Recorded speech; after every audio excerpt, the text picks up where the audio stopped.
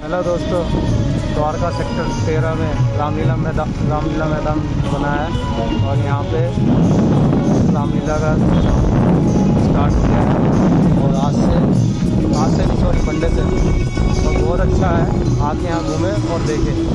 चारों तरफ़ देखो पार्किंग भी है कुछ आदमी दिक्कत नहीं है गाड़ियाँ पार्किंग में रखी है ये सेक्टर तेरह का मेट्रो स्टेशन है और मैं बाइक पे हूँ सॉरी स्कूटी पे।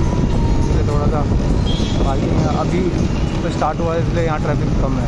धीरे धीरे जैसे दशहरा आ भी जाएगा तो ट्रैफ़िक बढ़ता जाएगा यहाँ पर ट्रैफ़िक इतना होगा कि आप मैं बता नहीं सकता, क्योंकि मैं भी पर रहता हूँ, चौदह में।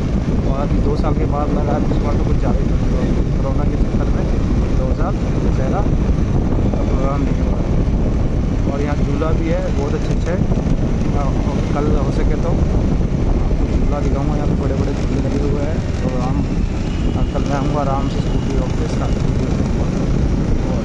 वीडियो अच्छी लगे तो चैनल को सब्सक्राइब करें, वीडियो को शेयर करना और शेयर करना भी ना